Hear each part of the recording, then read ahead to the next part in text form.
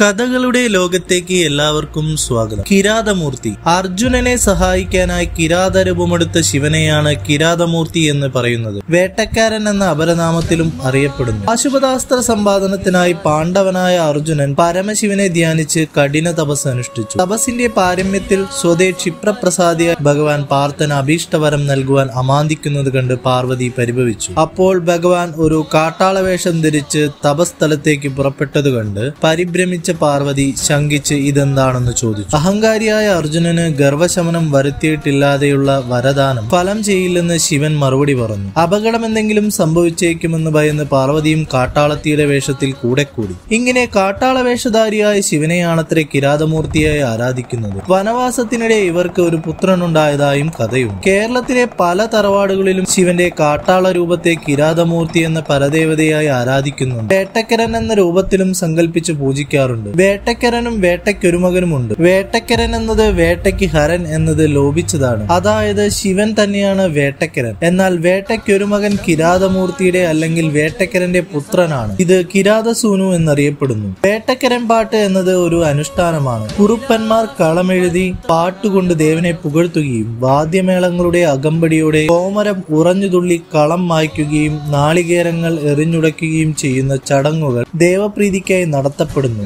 വേട്ടക്കരൻ പാട്ട് എന്നാണ് പറയുകയെങ്കിലും വേട്ടയ്ക്കൊരുമകൻ പാട്ട് എന്ന് പറയുന്നതാണ് ശരി. കാരണം വേട്ടക്കരന്റെ പുത്രനായ വേട്ടയ്ക്കൊരുമകനാണ് പാട്ട് കഴിക്കുക. കിരാതരൂപായ നമശിവായ എന്ന അവസാന വരിയോടുകൂടി എട്ടു ശിവസ്തുതികളാണ് കിരാതാഷ്ടകം എന്ന പേരിൽ പ്രശസ്തമായിട്ടുള്ളത്.